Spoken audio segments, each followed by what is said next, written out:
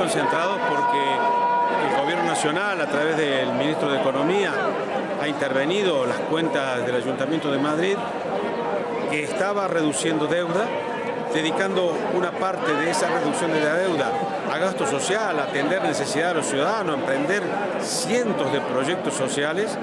Y el gobierno, que en cambio ha endeudado al país, que es absolutamente corrupto, no puede permitir este ejemplo es precisamente también interferir en la futura campaña electoral impidiendo que este gobierno local consiga la adhesión de la ciudadanía que vea que efectivamente está haciendo cosas por los ciudadanos y reduciendo deuda, lo que pone en evidencia cuánto robaban.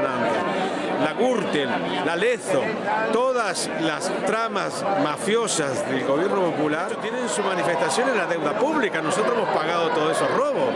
Y resulta que ahora este gobierno demuestra que reduce deuda y que además aumenta el gasto social. La cuadratura del círculo no lo pueden permitir. Y hay que recordar que esto es consecuencia de que Zapatero y Rajoy de la manita fueron juntos a modificar con agusticidad el artículo 135 de la Constitución para poner que primero se pagaba deuda y se achicaba deuda, se hacía, si había ahorros, en vez de atender la sanidad, la educación, las pensiones. De aquellos polvos estos lodos.